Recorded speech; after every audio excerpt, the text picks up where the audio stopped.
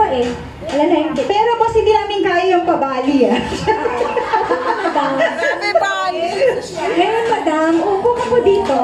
Gusto ko mag-sit back ka. Pumikit ka. Sige ka lang. Matulog ka.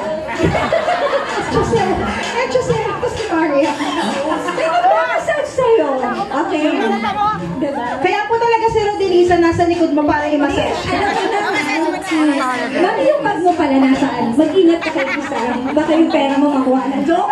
Joke joke lang. Joke lang. Hindi, yan. Sit ka. Hindi, totoo talaga yun.